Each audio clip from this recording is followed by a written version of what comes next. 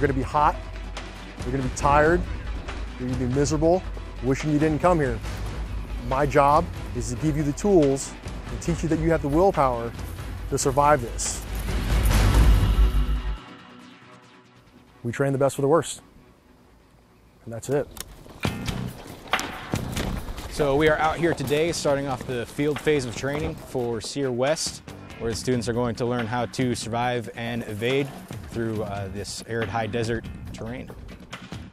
The purpose of this training, when you boil it down, is we're teaching our students to survive and return with honor from any isolating incident. It's teaching the basics, not just on hiding, but navigation, uh, how to procure water, how to procure food.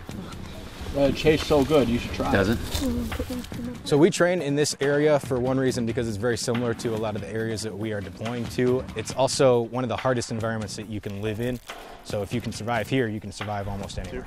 But we can carry it back with us. We'll wash it off when we get down there and we'll eat it. There's plenty of physical barriers. Obviously, we're in a survival situation.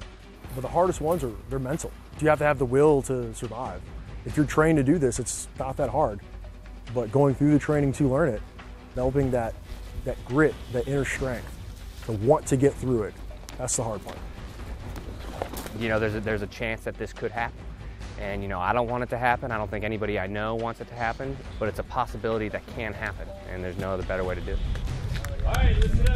These, these men and women, when they join the service, they deployed and go down range. Uh, they can be put behind enemy lines, in harm's way, and what we aim to do is teach them everything we can on survival skills. So if they do become isolated or captured, they can find a way to return with honor.